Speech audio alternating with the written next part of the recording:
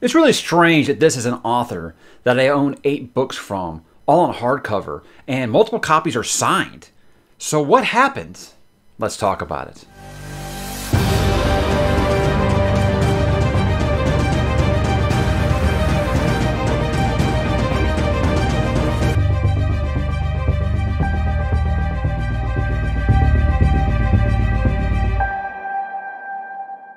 Hey, what's up, bookworms and Brent Weeks fans? I don't know, we'll find out. Mike back to talk a little Brent Weeks today, and I want to get out there in front of this and say, guys, if you're looking for just a rant video, this isn't what this is going to be. A question that has come up on the Discord a lot lately is, what's the deal with Lightbringer? Why did you drop Lightbringer? What is the story behind this? Because they go and they on the channel and they see that I did the review of the first two books, and I was like over the top with praise about them.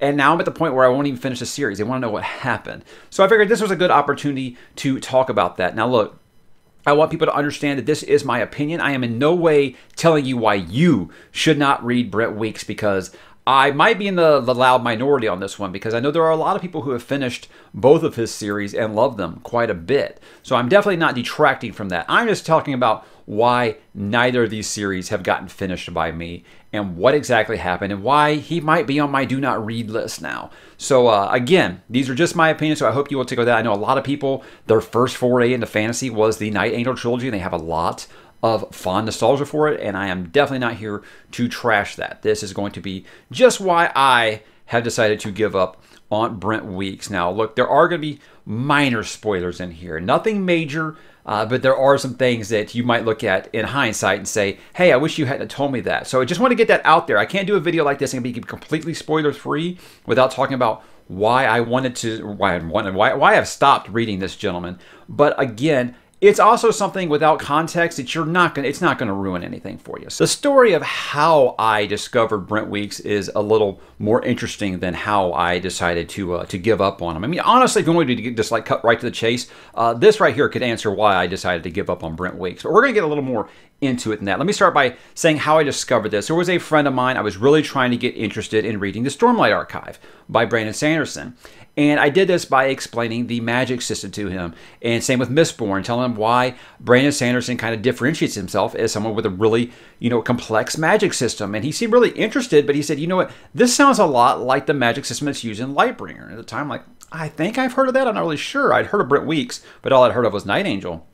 And he starts telling me about this magic system. And I was like, that sounds really awesome. I'll definitely, you know, add that to my list of stuff to read. And I looked the author up and I was like, okay, no, he's got these three books for. I tell you what, I'm going to start uh, at the beginning with an author. You know, I've heard really good things, yes, about the Night Angel trilogy. So let me start there, and then uh, you know that'll kind of give me an idea of what the guy's all about as an author. You know, quick reads, they don't look big, and then I can dive into these big, giant, massive uh, Lightbringer books, and then we'll see where we go from there. And that's kind of how I started on this journey here. Now, let's talk about Brent Weeks as an author first. Two big series under his belt, obviously Night Angel and uh, and Lightbringer. Uh, eight books. I believe there's a novella for each series. There's a graphic novel for Night, Night Angel as well. Uh, he has been on the New York Times bestsellers list multiple times. I believe all the Lightbringer books have been on there. I know that some of the Night Angel books got on there. Uh, so he's uh, sold like about 4 million copies of the books, and he's even won the uh, David Gemmell Award for Fantasy Novelist in 2013. So this is a very, very talented gentleman with quite a following. He's very, very successful. And I'm just a dude with Wi-Fi, so I'm not here to tell you why, hey, this guy's terrible. So again, if you're just looking for someone to shit on Brent Weeks, I'm not here to do that. I'm just here to tell you why I think I'm done with the guy. Uh, let's talk a little bit about my actual journey here. I started reading the Night Angel trilogy in 2017, picked up Way of Shadows, it was tough. Uh, it was a tough read for me. I never really clicked with Azoth, like, at all. I really couldn't uh, relate to him as a protagonist. Uh, a lot of the a lot of the side characters were just really forgettable. I didn't care about the villains at all. Really, the only one I really liked was Durzo, and I felt like he was almost like a background character. You really never saw much of him. And I'm sure that changed over the course of the trilogy. I don't know. I didn't finish the trilogy. I started reading. Uh, God, what was the second book called? Shadow's Edge, and I dropped it. I did not finish the series. That's as far as I got into that. So I kind of wrote it off as, you know, this was a first time author. Maybe he kind of struggled out of the gate. I don't know. But my biggest problem with that series is I felt like he couldn't make up his mind. Did he want to be young adult or did he want to be grim dark? It felt like pick a side. I know you're trying to rope both these audiences in. Obviously, they get you good book sales. Who might argue? I get this. To me, it just felt very bipolar. He couldn't decide what he wanted to be. It felt like he had wrote this epic fantasy series and then he spent all weekend playing Assassin's Creed and said, you know what, I'm going to kind of write that into my story. It felt just so shoved in there that it never really clicked with me at all. Like I said, I didn't really care about the characters. And for me, in fantasy, you can have great writing style, you can have great world building. If I don't relate to the characters, I'm usually not going to stick to it. And the characters never grab me. Now, I bought this signed anniversary edition after the after the fact, which a lot of people find funny because I said, you know what, going in with a different set of expectations, maybe I'll enjoy it more. So I did say I might give it another chance someday. I don't know when that's going to happen uh, because I bought that while I was still on a Lightbringer high. That brings me to Lightbringer. This same friend really urged me, look, Night Angel's like a thing, but Lightbringer, trust me, it's like night and day difference. He's a much better writer. It's a much better story. I think that you'll like it a lot more. At the time, there were four books out. We were, we were going in the countdown of The Burning White. And I said, oh, this is perfect. You know what I'll do? I'll read one per month leading up to the release of Burning White. This will be perfect. Perfect timing. It was right when the channel was taking off, you know, by the way. It was just getting started when I decided to do this. And I picked up Black Prism and I loved it. I was like, this is wonderful. It really was. Night and day. His writing was better. His magic system was awesome. I just, I, I could not believe it. This, this magic system, outside of Sanderson, I hadn't seen anybody do a magic system quite this good. It was deep, it had layers, it was just fascinating to read. I could not believe that this was the same author. It was uh, what we call chromaturgy, I think, which is based off of the color spectrum. Really, really just wonderful idea. Almost made me think about like Green Lantern in like a fantasy. I was I was all about it. I could not get enough of it. I read that first book in like two days. I was just so high about it. I could not believe how good this was. So I picked up book two like immediately, a little bit before my uh, my my planned one per month, and I blew through it too. And the burning, uh, the, the the blinding knife, I like did even better than Black Prism. I was like, holy shit, this is like my new favorite like modern fantasy series. This is this is impressive. I can't believe how much I like this. Uh, incredible characters, had a coming of age story, uh, wonderful, wonderful lore. A lot of the stuff. The villains were good. I loved uh, Andross. I thought Andross was just such a layered villain, so so good, even more so than the actual like main villain, I think, of the series. Uh, spectacular female characters in Karris and uh, uh, Liv. I was just like over the top about this. I love the deeply flawed characters of Gavin and Corvan. I could not believe I hadn't heard more about this series. Like, what is the deal? Why have I not heard about this more? Then I read The Broken Eye. Right as I was about to say that uh, Night Angel was just an anomaly, this guy was getting his wings and now he's there. I read The Broken Eye and look, it was good. It was kind of a letdown after after um, the blinding knife, but I still thought it was good. I saw some cracks in the foundation, but I wasn't worried. I wasn't alarmed yet. I was like, okay, this is the middle book in the series. It's kind of transitioning. It's giving more time to Teia. I was confused why my favorite characters had all of a sudden become background characters. Uh, Corvan and Karris just kind of disappeared. Liv was basically a cameo. Uh, you know, Gavin was let's just say sidelined the whole book. I was like, what's going on? I was like, I like Kip a lot. Don't get me wrong. Uh, don't know what this new fascination with Teia is, but hey, again, it's okay. He's a stat. He's building his world. He's building up his characters. That's cool. I can take one book of this. Then the next book happens, and not much changed. In fact, the only thing that changed was the quality of the story. Look, there are series that you will say, yeah, this is the point where it jumped the shark. And then there's this, okay? I can't think of a book that encapsulates the term hate read for me more than what Blood Mirror was when I read it. I could not get through this book fast enough because I was just struggling with it so bad. The twists in this are so over the top that I feel like M. Night Shyamalan will be like, yeah, you might have took it a little too far here, Mr. Weeks. Uh, I just...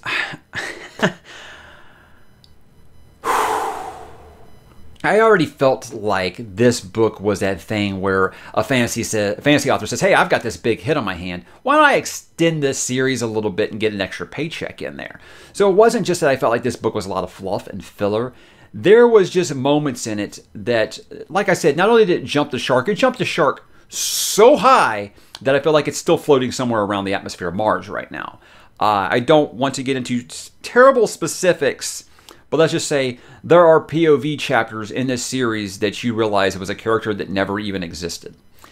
And that to me completely ruined the story. It broke the series so bad that after 2,800 pages of hardcover, I had no interest to read book five. But I said, you know what? I'm just going to take a break. I'm going to take a break, calm down. I'm sure I'll feel differently about this as time goes by. That was a year ago. I've got a signed copy of The Burning White over there. No interest to read it, and I don't think that I ever will. Now I realize that this might be an unpopular opinion. I'm not really sure because it seems like most people I talk to really enjoy the series. A lot of them have said, uh, "I thought that the ending could have been handled better, but I didn't dislike book four as much as you did." Then there are the loud ones like me. I think it might be a vocal minority on this one, and I I base that. It's really weird to kind of base this stuff off Goodreads. I mean, what else can you really go off of? Amazon has really high reviews for them. Goodreads, you go on Goodreads and you look at the reviews for Blood Mirror 35,000 reviews and it has a 4.34 rating out of 5. So apparently someone liked it. A lot of people apparently liked it. Uh, I am not one of those. And in fact, I talk to people who finish the series and love it. They still say, yeah, Blood Mirror was a little bit of a hiccup. I just didn't hate it as much as you did. Yeah, it completely made the series just, it just broke the series for me. It's kind of like I said with uh, the Daylight War in Demon Cycle that it broke the series enough to where I don't really have an interest in finishing it. So I don't really DNF series very often. But uh, yeah, this one, I can't think of a fantasy series that was so amazing that I really, within two books of that most amazing book, within two books, you can completely break a series for it. But, but this is the one. So, what does that mean for the future of Brent Weeks and yours truly? Uh, look, I think when you've got two fantasy series now that I have DNF'd, to me, that is a major red flag, obviously. Uh, here's the thing I think whatever he writes next, look, the guy's talented. I have no gripes about the guy as a talented author. He's very, very talented, obviously. Uh, he's got eight huge books, you know, lots of sales. I'm pretty sure he's not struggling to put food on the table. He's got a huge fan base. There are people who are greatly anticipating his next series. I'm just not one of them. Here's the point I don't trust him anymore. I do not trust him anymore. I trust that he can set up a world and make it absolutely awesome. He can make the action terrific. He can make terrific characters. He can make all these ideas and obviously a magic system. Look, if you're talking about comparing a magic system to Brandon Sanderson, you're doing something right. You've got talent. Your, your, your noodles are working right up here. I don't contest that. I just wonder if he knows how to stick the landing. So here's the, the, the thing. Uh, fool me once is kind of how I'm approaching it, not strike one, two, three. With me in series that get this long, uh, two and you're out. And here's the thing. Am I writing him off forever? No. Here's the thing. If he writes another third series, and uh, I'm sure he will, he's I think he's like a year younger than me, so I'm pretty sure he's going to keep writing. I'm pretty sure he's not packing it in. Uh, but he's uh, he's going to write another series, and here's the deal. If he finishes a series and people that I trust, you know who you are, people that I trust say, yes, he stuck the landing this time, then I'll give it a try. I'm going to base this off of word of mouth because I just can't trust him. I just cannot trust him anymore, and that's just really sad for a series that I thought was just absolutely amazing. Best two, best first two books of a fantasy series that I've read probably since Dark Tower or Stormlight Archive. I really felt like they were on level, and man, did it fall off of a cliff. So He's a magnificent world builder. His character work is very good. There are some qualms about his writing, so I'm not that guy. You guys know I don't really go on and on about prose. There are things where he'll write like this magnificent battle scene, and he'll just be completely blown away by his ability, and then he'll follow it up with like, "Oh, that's beautiful shit," or "Hey, look at her tits," and it's just like, "Wow, you really are just like an eighth grader down there somewhere." But again, I, I don't care. That doesn't bother me as much. That's not that's not world breaking for me. But plot is and and some of the plot choices he made just can't do it. Cannot do it anymore. I cannot find the excitement. If i had heard that burning white really corrected the ship and it just completely answered everything and it was awesome i probably would have went ahead and done it. But even the most staunch lightbringer fans have said ah, it was okay it uh, after after the newness wore off. Of course, at first they were like, "Oh, it's amazing, I love it," and after the newness wore off, they were kind of like, "Ah, it could have been better." Didn't really care for the endings. Kind of a weird choice to make at the end or whatnot. But again, hmm, I don't know. I still have it. It feels really weird to get four fifths of the series. I mean, these are are small books. These are big, big books. It feels really weird to get that far and not want to finish it. It's just I can't think of any. I don't have enough time to read everything I want to read right now. I really don't think I want to be putting anything that's going to feel like work. And I still have such a negative attitude about it after Blood Mirror that I don't think I would be enjoying it. And it would feel like I'd be going into it with my arms crossed and I wouldn't be wanting to accept it. So that's why I haven't read it. But again, I'm not I'm not writing it off for good. Just right now, I'd be stunned if it ever makes its way back. In the end, I just think it's kind of a shame. I felt like Lightbringer could have been one of the best modern fantasy series of this generation, and just he couldn't stick the landing. I, I mean, I don't. Again, I don't know. I haven't read that fifth book. You might drop in the comments and tell me crazy. How can you judge this when you haven't finished it? This is why. This is why. Yeah, yeah. This is the Song of Susanna of this series. if I hadn't invested so much time and, and energy into Dark Tower, uh, I, I, don't know that I, yeah, I would have finished that. I mean, Stephen King, but again, this is an author I don't trust as much as I trust Stephen King, so I can't really make that comparison. But again, the, I think that the talent is there, and I think maybe his best stuff is yet to be written. So I still have some hope. I think he's very, very talented, so he can do this. Just right now, he's got to earn my trust back, and he doesn't. He doesn't have it right now. So um, your thoughts, guys, drop in the comments. Let me know. I know a lot of you are going to jump on me and say, What are you talking about? Night Angel was amazing. Uh, I, hmm, maybe it is. Maybe it really, really just uh, he just took off in that second book. I don't know, but uh, after a book and a quarter, it was enough for me to decide, nah, it's not for me. And that happens sometimes, guys. Sometimes a series just isn't for everybody. But for me, the real heartbreaker here is how much I loved Lightbringer and how much it let me down. It's just a true, true heartbreak of a story. So uh, drop in the comments, guys. Let me know what you think, and uh, are you going to keep reading Brent Weeks? Let me know, and I will talk to you there.